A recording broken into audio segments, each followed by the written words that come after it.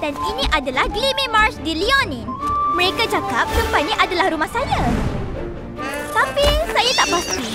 Dan tempat ni tak adalah teruk sangat. Saya tak perlu merayau di jalanan lagi. Wow! Saya dapat ramai kawan di sini.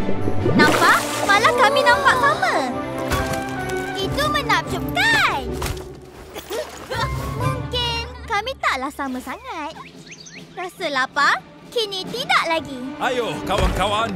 Kita perlu selesaikan bulatan magik sebelum ribut tiba di sini. Dan insiden lucu berlaku dari semasa ke semasa. Apa yang dah berlaku? Ah!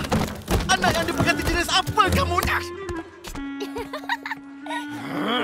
Ribut gila boleh berlaku di sini bila-bila masa. Semua orang sedang bersedia untuk tu. Bersiap untuk melindungi rumah kita.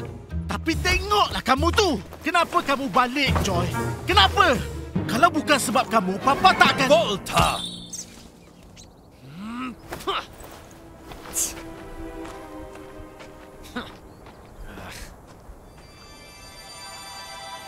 Jangan salahkan dia, Joy. Cuma dia terganggu sikit. Saya tahu. Ambil ni.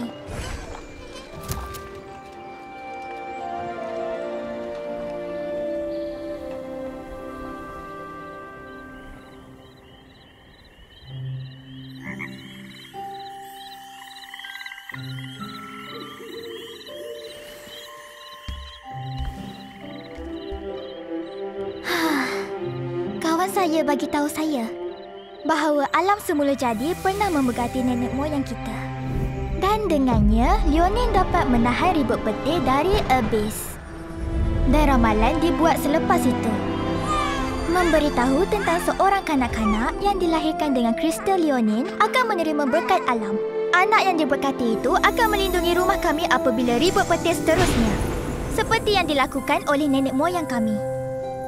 Saya ni betul-betul anak yang diberkati ke? Oh, oh.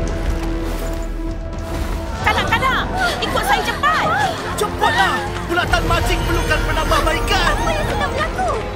Ia dah tiba. Ribut kilat dalam ramalan. Mari, ikut sini. Jangan takut. Persediaan telah dibuat untuk situasi ini. Bawa kanak-kanak ke tempat selamat.